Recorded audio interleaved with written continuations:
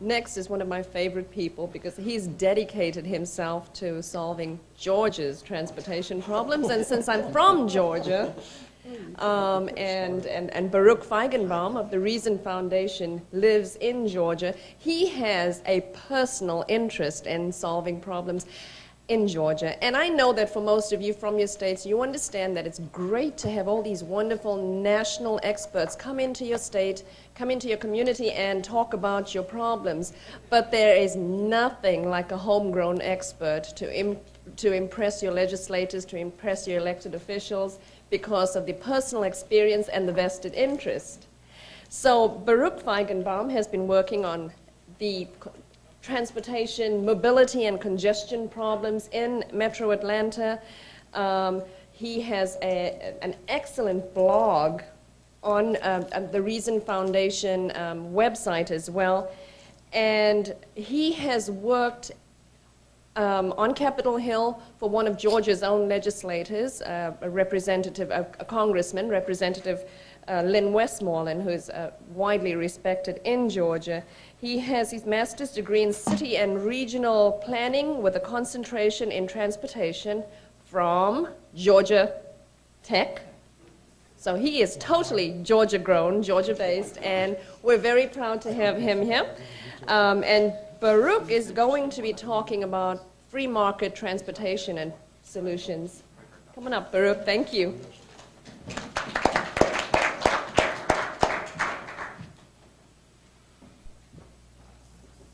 My goodness, uh, I need to thank Benita for that wonderful uh, introduction and uh, slide her a 20 after this presentation for all those nice things she said about me. Okay, so a little bit about this presentation. What this is, is at the Reason Foundation, and many of you know Sam Staley and Bob Poole, both in the room here, we have a, proj- a project, or I guess a program we should call the Galvin Mobility Program, which is looking at metro areas across the country and solving, or at least attempting to solve, the congestion and mobility problems in those areas. So, what I'm basing this presentation today on is an update study uh, to Atlanta, one that Bob first did in 2006 and one that I updated earlier this year. And what I'm trying to do here is take it sort of those concepts on a nationwide basis and say, okay, your city obviously is not exactly like Atlanta, but what can you learn from this presentation? What can you do? What principles can be applied?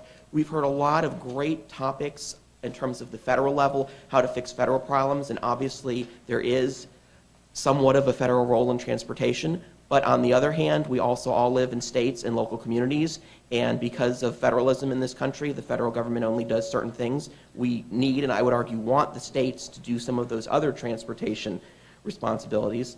So let me go ahead and get started. Let me just look at my notes here, see if there's anything I missed. Okay, I don't think so. So there we go. Okay, so there's basically a brief presentation summary. Uh, you can see actually, you'll excuse me, I'm just going to get my, my laptop here because I don't have my glasses with me. And I realize that you can probably see that a lot better than I can. And uh, so, you know, you might be wondering, wait a minute, he didn't actually talk about that. So let me just slide this up here a minute. Second. Okay, so you can see a, a basic presentation summary. Um, basically, the concept and the plans are going to require freeway improvements, arterial improvements, some intelligent transportation systems, even looking at a transit network. Art Guzzetti's there in the back. Uh, because this is a plan for the entire metro area. And obviously, we're trying to do this from a market focus. We're trying to make this as user pay, user benefit friendly as possible. Okay, so on the on the market-based transportation concept, we have a few things that we're trying to do.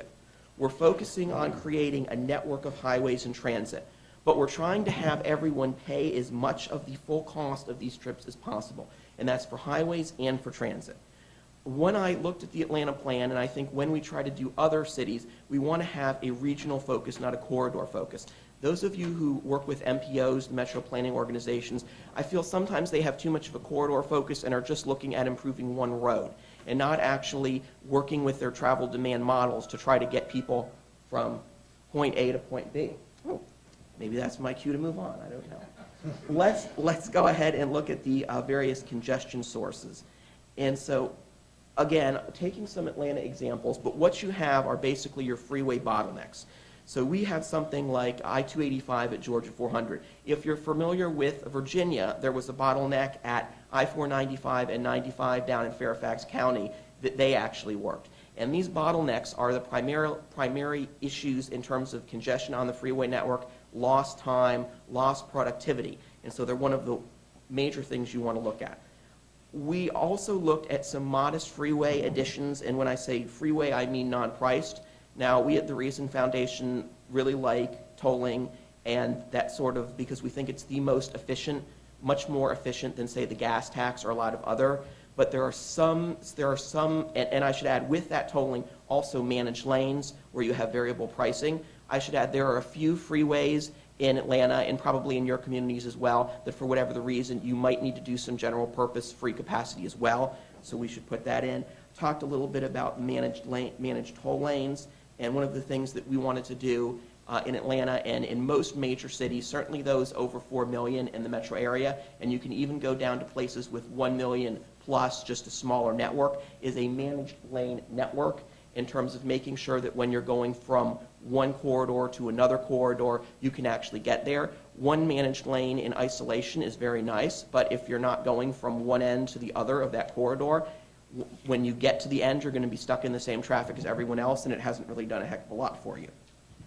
So I talked a little bit about the freeway widenings. I just want to talk a little bit about induced demand, what it is and what it isn't. So induced demand is a concept that we can say people probably on the left uh, came up with where they said, well, wait a minute, if you add all these non-priced lanes, aren't you going to have, you're, you're just going to have congestion occur again because you have more lanes, you know, you're going to induce more travel. And so my response to that is, in certain situations, that's true. Oh, thank you. I advance it on my, I don't necessarily advance it. In certain situations, in certain situations, that's true, but actually, you're also having growth. So actually, more traffic on those new lanes is really what you want if you're in a growing economic area. So um, I, I, I, sort of tend to counter that. I work with um, some more planners than I think many of you do, and so it's often helpful if I speak their language so I can sort of make sure that we're on the same page.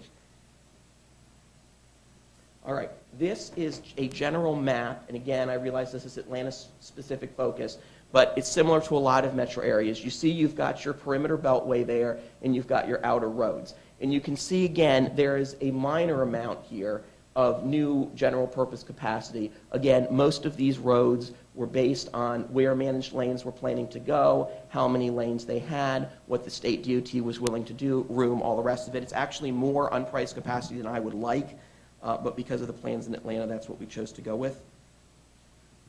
Um, again, the managed lanes came out of an original vision, which were HOV lanes. And those of you who have been around for a while know a lot about high occupancy vehicle lanes. We had them in, in Northern Virginia, and they're now actually being converted to HOT. Uh, I like to say that the, the problem with the HOV lanes is what I like to call the Goldilocks theory. And someone asked me what this is and where I came up with it um, and suggested I think of something else. But I kind of like it, so we're going to go with it. And what it is, is their hot lane, HOV lanes are either too hot or too cold. When they're too hot, you've got too many people using them. They slow down. They offer no advantage over the general purpose lanes. When they're too cold, no one uses them. And you're like, what is this perfectly good lane doing here? It's just a complete waste of space. Why can't I use it? I want to use it. I don't have two people in my car. This is very annoying. So because of that, we've transitioned to these priced managed lanes where you pay a variable toll based on time of day, based on congestion. Most of the ones that we recommend are free for buses and super carpools, which are usually van pools seven or more only. There are some situations where they're free for three-person carpools or something. We tend to discourage that because when you start adding a lot of these lower carpools in, you often have got no room. And one of the ideas of this network is it doesn't only help highways, it helps your transit buses as well. So we try to discourage that. And as you can see, as you can see, there we go. This is the map we came up with Atlanta, and because of the various situations, we had to do two lanes in some places, one lane's reversible, not reversible. Some of this was based on what the GDOT uh, plans were, so again, trying to work with our partners. But you can see this is pretty comprehensive. We also had a, um, a new tunnel uh, under Atlanta, which is a bit controversial, but for traffic reasons, we wanted to go ahead and and include it. All right, there's been quite a bit of um, discussion of PPPs already, and there'll be more, so I don't really want to go into it too, in too much detail. But basically, the public-private partnerships are an important part in terms of financing this, and also in terms of being able to leverage that for resources. And uh, they're, they're important agreements. Uh, It's important to do them correctly. There's obviously various types. There's the full DBFOM, you've got concessions, you've got avail- availability payments. But one of the things we find is that there's often some myths regarding PPPs. So I- I don't want to go into it too much, but I know it was, it was something that, a question that um, Bob actually had earlier this morning about parallel roads. And we had a big issue in Atlanta with this. And the PPP opponents were saying that you can't build anything within 10 miles of this road. And in fact, if you actually looked at the agreement, you could build a new arterial or even a new freeway 10 feet away from the existing road. You just couldn't add lanes to this new hi- this highway. And I would tell you that a stretch of this freeway is 15 general-purpose lanes, of the widest stretch in the country. So it's unlikely that GDOT was considering adding more general-purpose lanes to it. So uh, just, just something to keep in mind. Arterial networks are the next thing, and I want to talk a lot about arterial networks because they're really the backbone, but they're quite unsexy in terms of the transportation uh, overall picture, and they don't often get the publicity and the attention that they need. In some metro areas, if you're from Los Angeles, some metro areas have very good arterial networks. And then if you're from a place like Boston and Atlanta, you don't have our good arterial networks at all. And arterials are often referred to as the surface streets, the ones with traffic lights as well. Um, they provide redundancy in, tra- in uh, travel options. They're relatively low cost to improve, at least compared to the freeways, cost being relative in transportation. And so what we did was we divided the arterials into two different types, what we called regional primary arterials and what we called all other arterials. The regional primary arterials are basically have multiple parts. They have, and in order to improve them cost effectively, this was what we found were the easiest things to do. We put in some variable traffic signal synchronization, which means actually when you're driving along the road in the main direction, you get a green light. This is something that's actually fairly, fairly easy to do um, if you've got some good traffic engineers with ITS, but often does not happen for political reasons. Um, we looked at putting in queue jumps, which is priority signals um, to improve bus and BRT service, um, access management, restricting your turns, and then grade separations, which is putting in intersections for your busiest areas. And if you are you're wondering what the heck I'm talking about, here are some nice pictures of all of those. So, and as you can as you can see, um, if you ever see a nice stretch of green lights like this, let me know because I'd like to drive down the street. But in principle, that's what it should be looking at. I also want to talk a little bit about managed arterials, which is a concept that Bob actually came up with. And this is something that for your busy arterials, your ones with six lanes that are congested, thank you, uh, you really want to use. Um, and you really want to utilize because it's a cost-effective way to improve them. And how it usually works is you pay a small fee to use the overpass or underpass to bypass congested intersections. And the studies in Fort Myers have shown it's actually got a high feasibility. Um, you can see that you've got a small optional toll, and I say small in you know comparison to urban areas of 25 to 50 cent. And like managed lanes, they are completely optional. So I understand that the truckers may not be real interested in paying a fee because it increases your cost. And that's fine. You don't have to. This is just an option for folks who want to use it. We don't want to force anyone to use it. There is a way to go through the intersection. It's just an idea of saving delay, or cutting down delay. And I should add, in some metro areas that have good arterial networks, such as Miami, such as Los Angeles, this is an excellent solution that really we think should be implemented more. In Atlanta, because our arterial network is so backward, we're sort of limited in what we can do, but I'd really like to use more of it if I can, but again. So again, here's a map of the Atlanta arterial network. You can see generally what we tried to do, and you can see the freeways on there, is we tried to have an alternative to each major freeway so that if the freeway was congested, if there's an accident, if there's a problem, you can use these. And I can also add that coming up with the managed lane network will provide an alternative on the freeway. Because if there's congestion in the general lanes, if there's an accident, you have an alternative, whereas right now you have no alternative. So with the managed lanes, with the arterial network, you're actually going from zero alternatives to at least two. Now, hopefully, you're in a metro area where you actually have some good alternatives now, um, and then maybe you'll be going from two to four or something along those lines. But again, a relatively cost, cost-effective way to improve it. I want to talk a little bit about ITS. Now, I don't want to say I'm skeptical about ITS, but oftentimes the ITS folks sort of get in their own world and they're like, we can solve cancer with ITS. And the reality is it's really not quite that good. But I do think they can be very cost effective, and I think they're particularly helpful on arterials and transit. And when I say that, I'm talking about these ideas like synchronizing light signals, like making sure that you're actually improving the traffic flow as much as you can. And I put in here, the challenge in 2013 is not actually to use traffic cameras. Many of you probably have a cell phone, and you can go to Google Maps, and you can see that it will tell you the road is either green, yellow, or red, based on the flow of traffic. Well, that's wonderful, but you, the idea is actually to solve traffic congestion, not just tell you when it's there.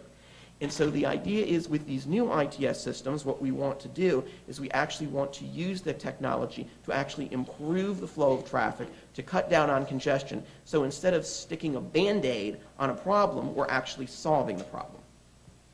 I also want to talk a little bit about transit. Now, transit from a market-oriented viewpoint is always challenging because we don't believe in subsidies to transit. We want user pay, user benefits, but obviously for various reasons, that's not always realistic. So what we did in Atlanta is we maybe considered some existing rail stations, but we said, look, we're not going to do, thank you very much, you know, changer here. We're not going to do any new rail because it's not cost effective, especially in Atlanta. Some of you have heard me say Atlanta's the least dense metro, major metro area in the world and uh, it, it's not a good fit. But we did look at local bus routes, we looked at express bus routes, we looked at bus rapid transit. I think one of the things to keep in mind with a lot of these new buses is you can do transit much more realistically and cost effectively and you can all you can actually create a network and sort of a hierarchy. So if you're going from one neighborhood to the other you're looking at your local. If you're going more across town you're looking at express bus and BRT and you can do all of the functions that rail has in most metro areas at a much smaller percentage of the cost. And if we can just get over this idea that buses are ugly and hideous and, and whatever, then we might actually get somewhere with this. Um, we also looked at a mobility management center, which is also not my favorite because it's not really a functioning free market. But in the absence of that in Atlanta, we decided we had to go ahead and do that. We also looked at non-traditional transit. I'm talking here about casual carpools. I'm talking here about um, van pools, demand response in rural transit. It would also be much my preference if we could uh, contract out transit to the private sector. We find that in many situations they're much more effective and much more, um, much more cost efficient. Now, obviously, there's a good way to do this and there's a wrong way to do this, and it's been contracted out in some situations and it hasn't worked. But where it has worked, I think especially in smaller communities, it's a really good alternative.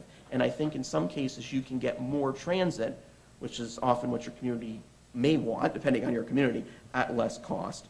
Um, also, I'm going to breeze through this, but anyway, I talked about competitive bidding, um, also time of day and distance-based pricing. This is something, so for example, if I wanted to go to the airport, for example, I'm going to take, let's say I take a bus and train. I normally drive, but let's say I'm, I'm being adventuresome here the most of the rate from my where I live, which is about 35 miles from the airport, is 250.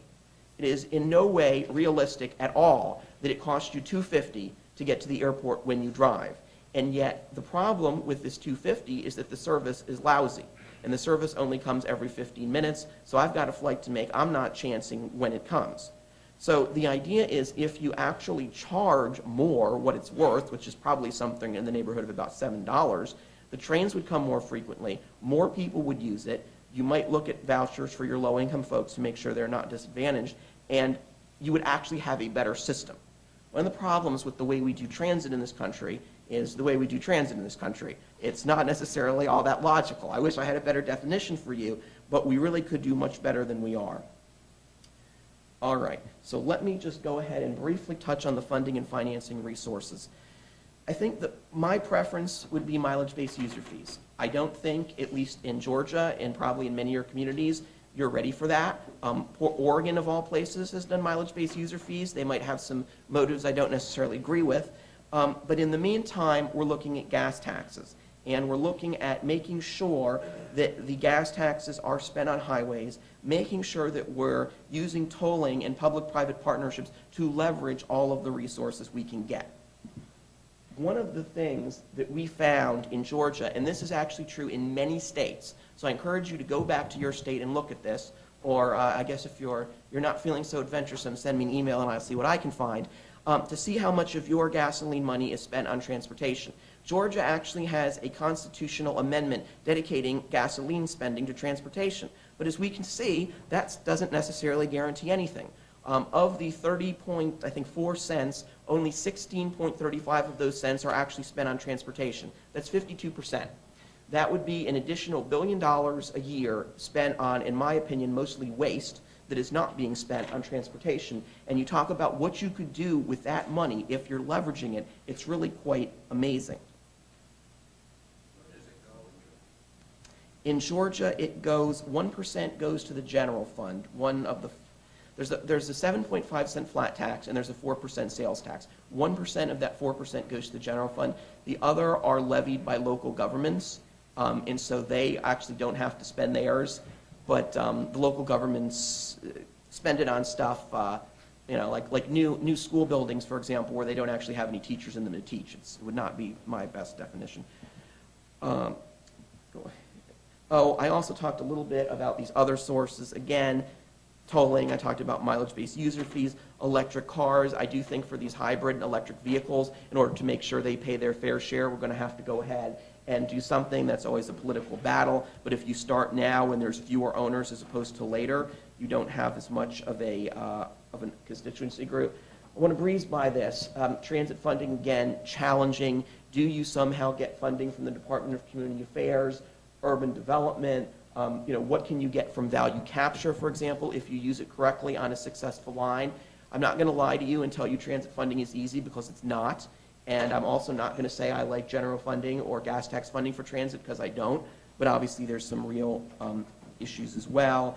Um, They are a little bit about financing, actually, transit and transportation, public-private partnerships we talked about, um, TIFIA loans, GARVEEs, GANs. Now, again, these are loans, so you, and, and in some cases bonds, private activity bonds. So you have to have the funds to actually be able to pay them back. So that's important. But I do think that they, again, with value capture, can give you some additional resources that we don't necessarily think about. All right, and I just, my last slide here, I just want to talk, there's the transit financing slide. I just want to talk about the importance of political coalitions. So obviously, we're, we're here mostly automobile fans, not, you know, real, real friendly with transit. The challenge is to go ahead and get our ideas implemented, and there's going to be some people that know a lot more about this than I do talking this afternoon. But just briefly, one of the things you want to do is you want to go ahead and make sure you can get various groups involved and make sure that you can have a campaign that works, make sure that you, you include all these things. And so for that reason, you might need to look at putting in a little more bus transit than you would like to. You might need to look at including some allies like the NAACP that you wouldn't normally do so. But I, what I'd like to do is I'd like to implement these market-based transit components, or transportation components, I should say, on a nationwide basis. And to do that from a little, from a political perspective, often you have to do some things that you wouldn't normally do. All right. Now I am finished. I will put that slide up, and I will let you ask your questions after you ask the other panelists.